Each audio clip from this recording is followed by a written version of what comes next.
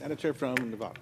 Mr. President, I, I, too, I have to thank uh, my friend and colleague, Senator Warner from Virginia. He has been a leading voice uh, on this issue and the importance of passing this legislation, not just because it addresses our national security, it gives us an economic advantage in this country, but he also realizes the jobs it creates and it positions not just Nevada, but every state, this country, um, to lean into the future uh, and be prepared for the challenges of the 21st century. So I thank you because I know you've been at the forefront of this and you have not relented. Thank you, thank you for everything that you have done. Mr. President, there's another issue that is important um, for Nevada. I, I, want to talk about. It's not just Nevada, but uh, for so many across the country. You know, I, I was elected uh, uh, to the Senate, uh, and ever since then, in 2017, I have stood up uh, for Medicare and Nevada seniors. I have fought against the, the Trump administration's cruel proposals to cut Medicare funding, and I championed provisions to expand Medicare funding and services. That's why uh, I was shocked when last week hundreds of Nevadans began calling my office. They were anxious and alarmed over a deliberately misleading ad that is running on TV on Facebook and via a text campaign. In Reno this past weekend, Nevadans came up to me because they were concerned about these false accusations. This ad incorrectly claims that I support a bill that would strip $300 billion from Medicare. This couldn't be further from the truth. What I do know is that the ad is a deliberate lie.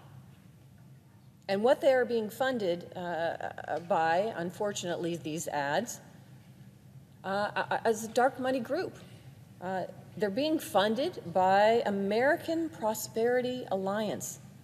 This is exactly the kind of group I've been raising the alarm about for years. Because here's the truth here are the facts. I am standing up for Medicare, just like I always have.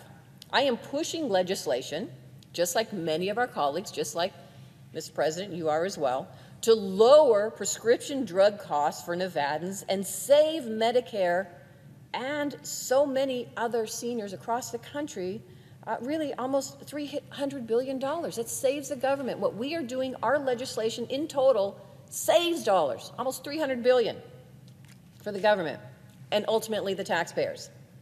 The bill would not cut anything but Big Pharma's profits. And seniors in Nevada and across the country can expect even stronger benefits under the legislation that I am working on, that you are working on, Mr. President, so many of us are. So why would the ads lie about something so important to the American public when we're working to lower their costs and give them access to affordable health care uh, in this country? Here's why. Because powerful interest groups out there don't want this legislation to succeed. So they are pouring dark money into efforts to stop it. Now, we don't know who really funded this ad, and the organization that wrote the check doesn't have to disclose that information. And so nobody can be held accountable, and that's part of the problem. And that's why I've been calling for this accountability and this transparency about who's funding all of these ads.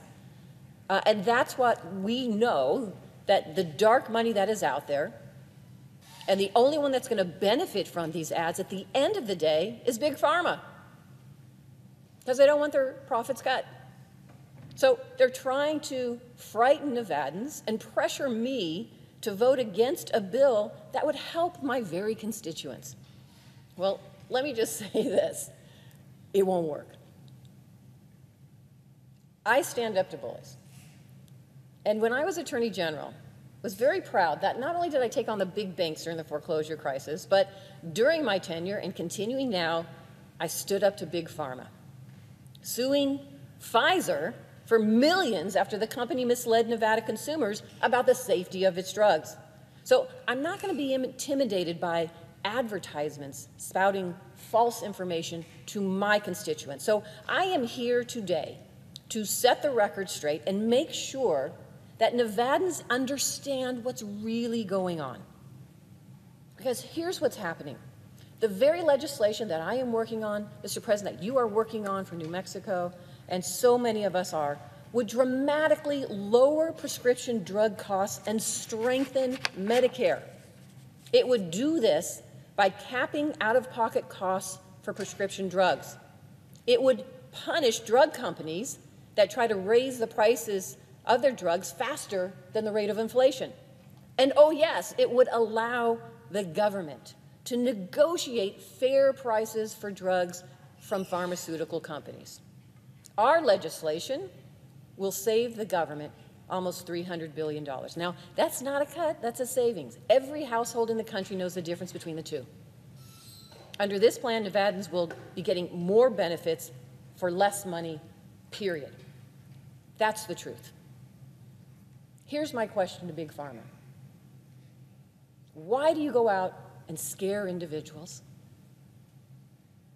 Put ads out there that you're paying for that are lies, when actuality, you could be working with us. Because here's what I know at the end of the day from my constituents nobody in this country, whether you live in the state of Nevada or any other state, should have to make a tough decision whether you can afford your health care, your prescription drugs, or put food on the table, or pay your electric bill. That's not what this country is about. So, to Big Pharma, I call you out. You want to really be a part of the solution? Then come support this legislation. Help us in this country lower costs for so many families who literally need access to medications that they cannot afford. That's not what this country stands for. So that is the truth. And anyone, anyone who wants to come out and challenge that, I am ready to debate you any time of the day. Thank you, Mr. President. I yield the floor.